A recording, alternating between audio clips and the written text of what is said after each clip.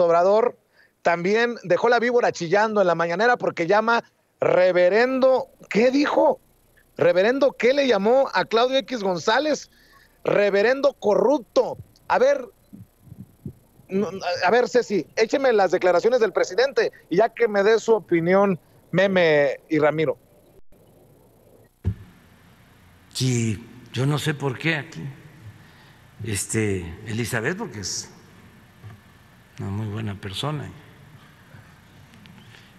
Este, pero les, llama a la organización, ¿cómo se llama?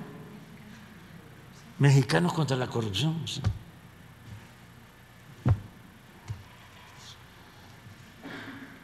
Son mexicanos a favor de la corrupción. Hasta en eso son falsos.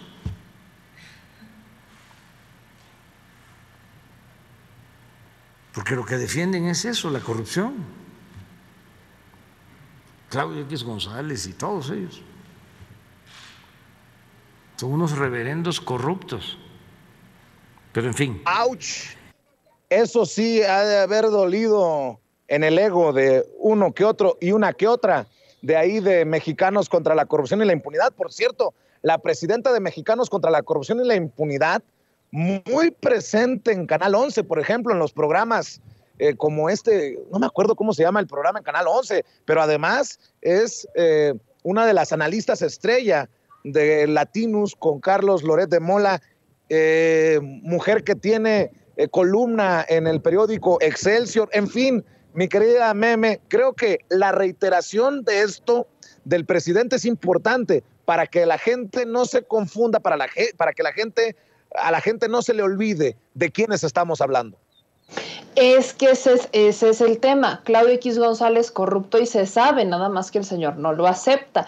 No, no, no hay que irnos con la finta del nombre de su organización, ¿no? Que es Mexicanos según contra la corrupción y la impunidad, porque ellos han utilizado y lo saben bien saben bien que el periodismo es una forma de poder, es un poder, y que lo han utilizado para inclinar el poder a su favor.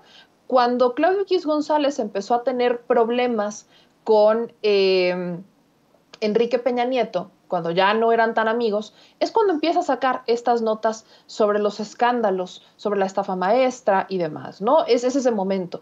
En el caso de María Amparo Casar, ella ha justificado más de una vez, ¿no? Como la independencia, según del gremio de Mexicanos contra la Corrupción y la Impunidad, es porque Claudio X González ya no está ahí, y es que eso no es no, podría ser más falso, porque María Amparo Casar creo que a estas alturas debería de saber que aunque ya no sea Claudio X González el director de Mexicanos contra la Corrupción y la Impunidad, porque ella asumió ese cargo, sigue siendo el presidente del, del, Consejo de Administración, en donde figuran personajes que también figuran en otro tipo de organizaciones como México Evalúa, que son las que hoy también terminan exhibidas en la mañanera por andar publicando notas a punta de interpretaciones a donde nadie le preguntan. O sea, interpretan y juntan varios delitos en uno solo y entonces dicen, ahí les va. O sea, creo que, creo que lo que es importante que entienda la audiencia es como han utilizado el poder de la prensa para incidir en la opinión pública. Y lamentablemente a las personas a las que más logran manipular son personas que sí tienen estudios, son personas que sí tienen una licenciatura, pero que de alguna manera siguen creyendo con fe ciega lo que dicen estos medios porque se han generado un prestigio que yo dejaría entrecomillado. A mí me parece muy lamentable que existan personas que tienen estudios que sigan siendo ignorantes, porque hoy más que nunca me queda clara que la ignorancia no es algo que se erradique solamente con educación escolar o académica, sino que hace falta mucha cultura en casa, mucha educación en casa y promover el criterio propio. De alguna manera también celebro que eh, María Amparo Casar siga teniendo espacios, fíjense, porque contrario a lo que ella misma dice, tiene libertad de expresión. María Amparo Casar no puede decir que no hay libertad de expresión en este país porque ella está en espacios pagados por el gobierno, como lo es Canal 11, dando su opinión.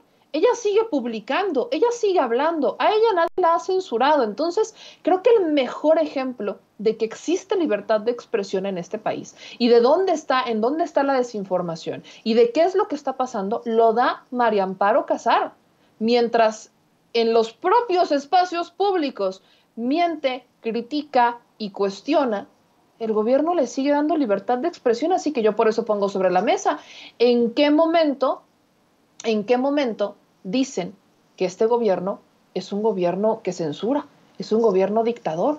¿De dónde lo sacan? Porque creo que ni siquiera ellos se terminan de creer lo que dicen públicamente.